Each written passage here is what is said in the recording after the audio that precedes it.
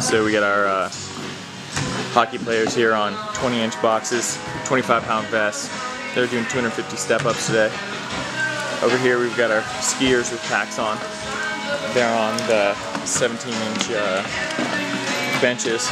They're also doing 250 step ups here to warm up. Got our hockey players coming in. First 400 meter run.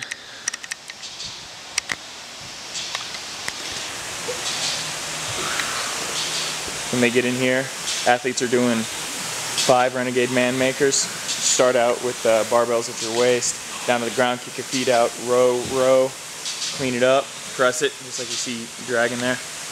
Nice, Griffin.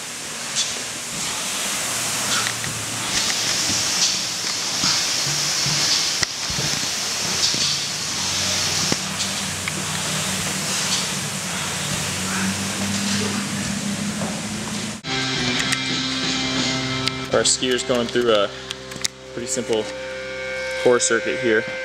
Standing founder 20 seconds each position. And then they're going to instep and pigeon stretch. Forrest here's doing the pigeon right now. And then whenever you get done with that, we're just foam rolling. So it's kind of a core durability circuit combined here. Taking it light on our unload day here.